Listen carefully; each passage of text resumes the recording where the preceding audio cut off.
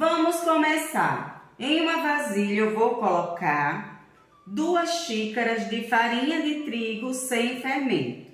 A medida da minha xícara é de 240 ml. Gente, tem que ser sem fermento, senão a receitinha não dá certo, tá?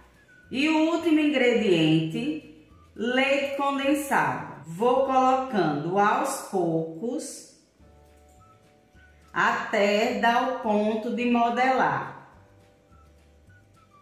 Mais uma receitinha com dois ingredientes que fica uma delícia. Não fica muito doce, bem simples de fazer e bem rapidinha.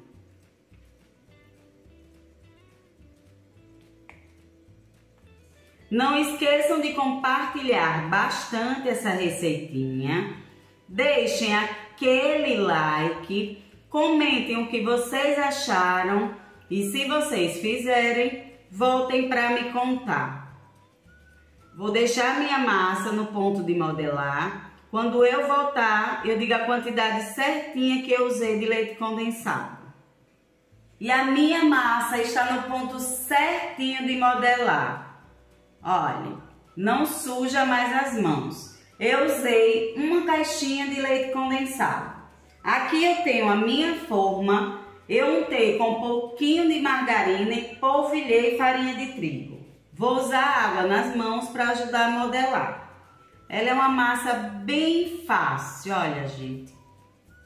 E o sabor, como eu já disse a vocês, é maravilhoso. Eu vou fazer desse jeitinho aqui, ó.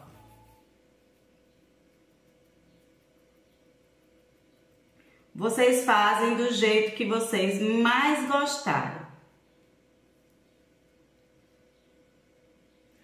Eu já acendi o meu forno a 180 graus. Vou fazer todos, vou levar para assar. Quando eu voltar, eu digo o tempo certinho que ficou. E os meus biscoitos já estão prontinhos. Ficaram no forno por 20 minutinhos. Vou colocar em um prato e volto para mostrar essa delícia por dentro. Vamos ver? Olhem como eles ficam embaixo, bem assadinhos. Gente, é muito fofinho, uma verdadeira delícia. Dois ingredientes fácil, rápido e bastante saboroso.